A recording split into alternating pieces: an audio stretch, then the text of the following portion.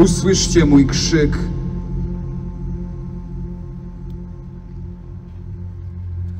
Ludzie, w których może jeszcze tkwi iskierka ludzkości, uczuć ludzkich. Opamiętajcie się. Usłyszcie mój krzyk. Krzyk szarego, zwyczajnego człowieka, syna narodu, który własną i cudzą wolność ukochał ponad wszystko, ponad własne życie. Opamiętajcie się. Jeszcze nie jest za późno.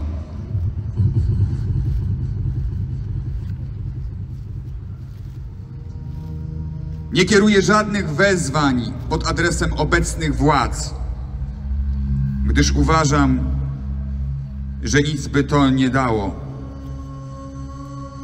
Wiele osób mądrzejszych i bardziej znanych ode mnie, podobnie jak wiele instytucji polskich i europejskich, wzywało już te władze do różnych działań i niezmiennie te apele były ignorowane a wzywający obrzucani błotem. Najpewniej i ja za to, co zrobiłem, też takim błotem zostanę obrzucony. Mój czyn ma sens, ale nikt nie powinien go naśladować.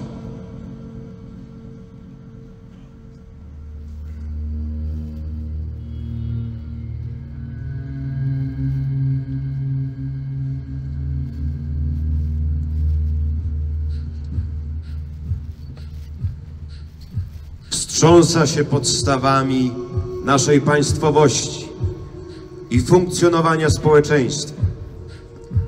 Natomiast większość społeczeństwa śpi, nie zwraca uwagi, co się dzieje i trzeba jest z tego snu obudzić.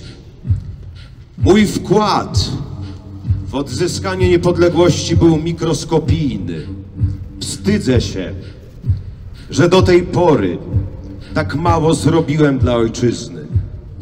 I wiem, że muszę to zmienić. Wezwanie swoje kieruję do wszystkich Polek i Polaków. Jeśli nie my, to kto? Kto jak nie my? Obywatele ma zrobić porządek w naszym kraju. Jeśli nie teraz, to kiedy?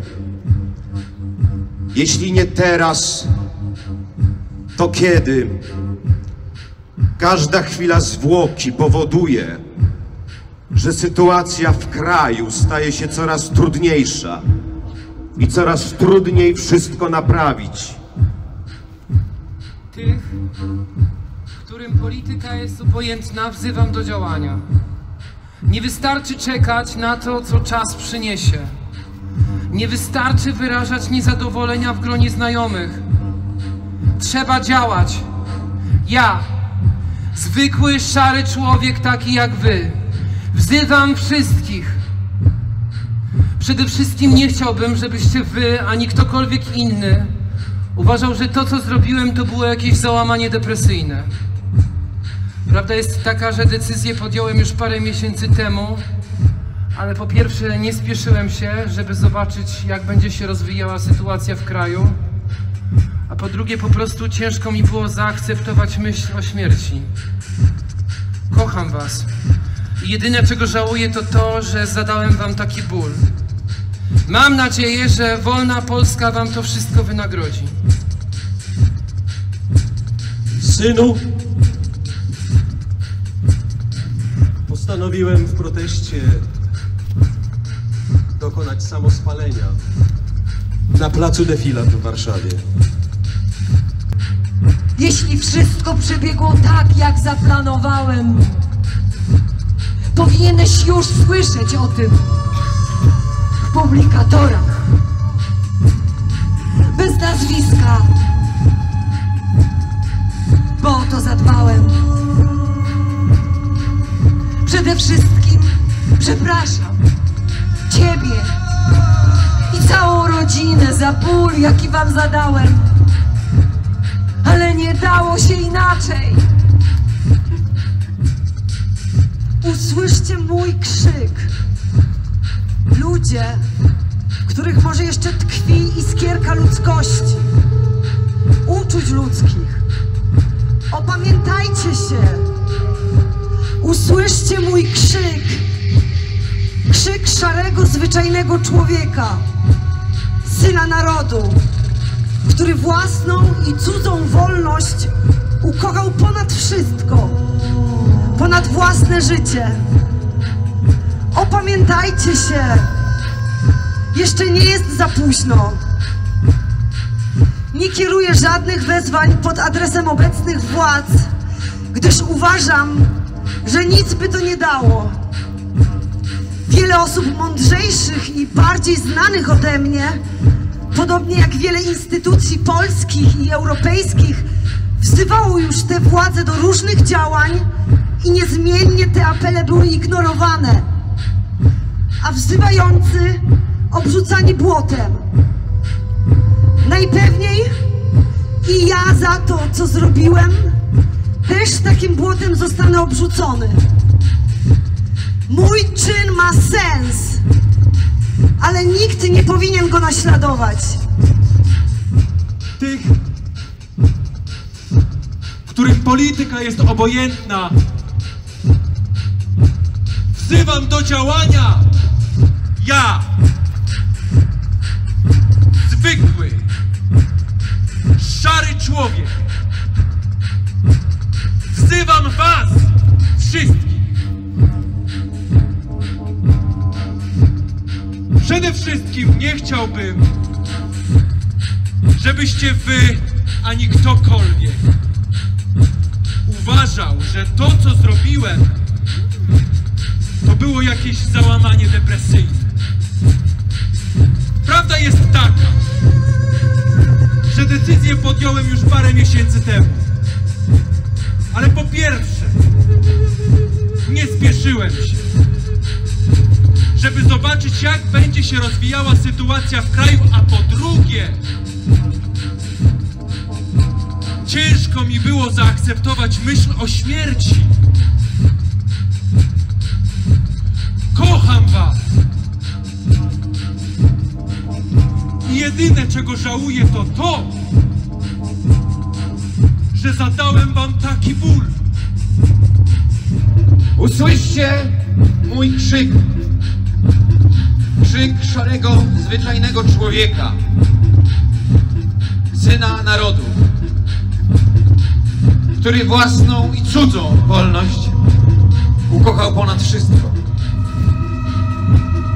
Mój czyn ma sens.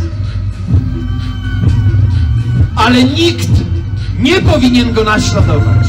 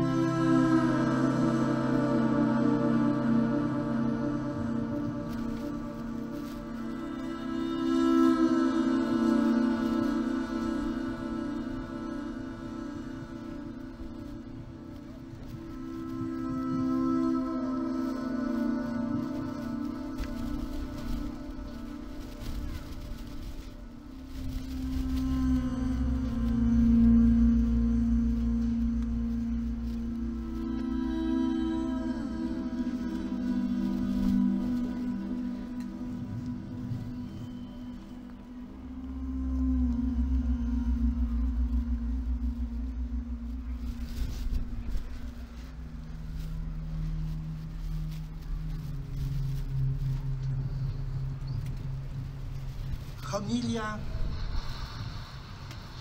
księdza Adama Bonieckiego z pogrzebu Piotra Szczęsnego. Żegnamy świętej pamięci Piotra, człowieka, który jest jak krzyk, który rozdziera ciszę, jak ogień, który z ciemności wydobywa kształt rzeczy w ciemnościach jakby nieobecnych, bo niedostrzegalnych. Krzyk budzi strach, ogień budzi strach, śmierć budzi strach. Piotr był z tych, którzy widzą ostrzej, widzą to, czego większość ludzi nie dostrzega. Czuje drgania sejsmiczne, których wielu nie czuje. Widzi rysy na murze, stłuczony dzban i złamany kołowrót. Widzi symptomy katastrofy. Wierzy, że może ostrzec. Wie, że to musi uczynić. Widzę pana Piotra, wieczór, kilka ostatnich godzin życia, trwania pod Pałacem Kultury. Myślę o wewnętrznym dialogu, który z sobą toczy. Dialog trudny, straszny, samotny wśród biegnących ludzi. Wyobrażam sobie cisnące mu się do głowy pytania, czy warto? Jaki krzyk?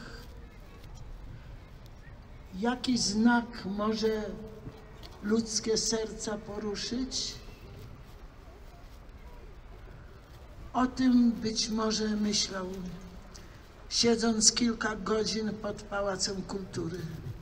Napisał, wierzcie mi, nie jest łatwo. Testament Piotra jest krzykiem niepokoju, krzykiem bezradności, krzykiem protestu, ale jest krzykiem miłości, nie nienawiści.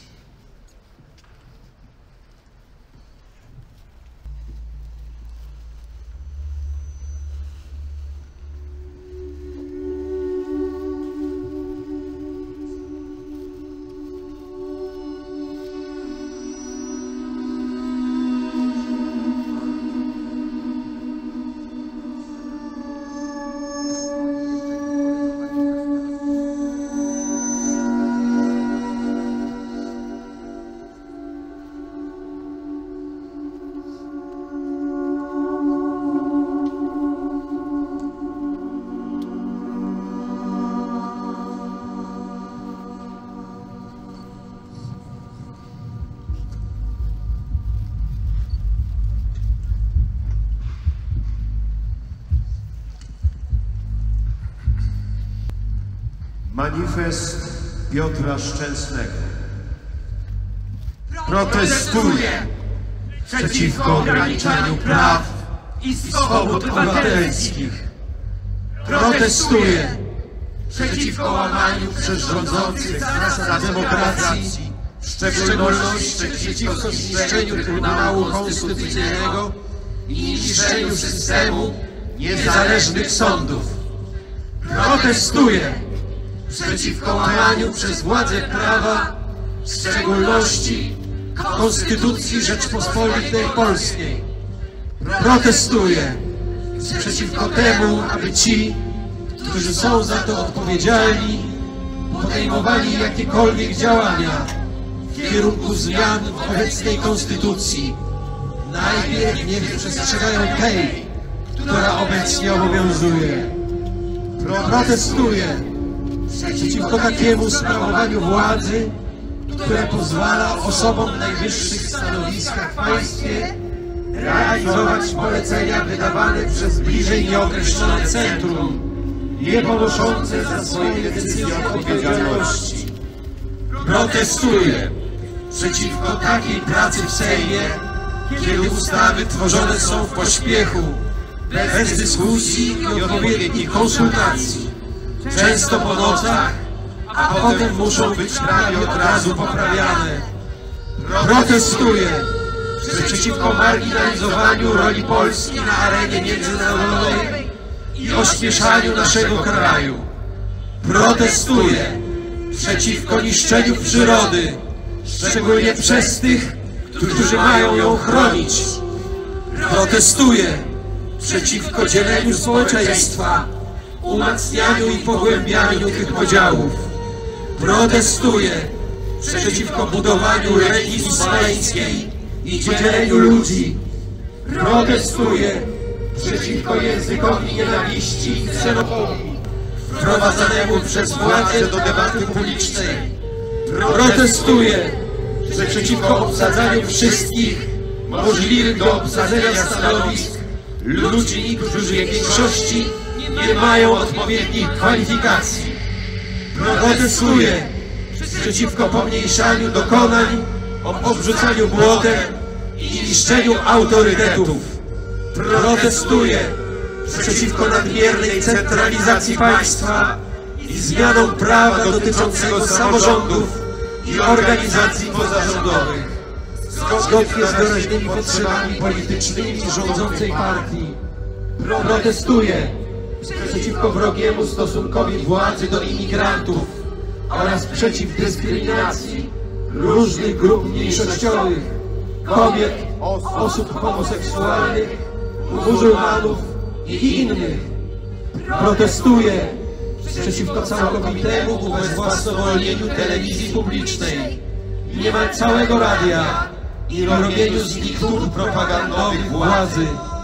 Protestuję przeciwko wykorzystywaniu służb specjalnych, policji i prokuratury do realizacji swoich własnych celów. Protestuję przeciwko nieprzemyślanej, niekontrolowanej i nieprzygotowanej reformie oświaty. Protestuję. Ja, szary człowiek, który wolność ukochał ponad wszystko. Ja, szary człowiek, który wolność ukochał ponad wszystko. Ja, szary człowiek, który wolność ukochał ponad wszystko. Ja, szary człowiek, który wolność ukochał ponad wszystko.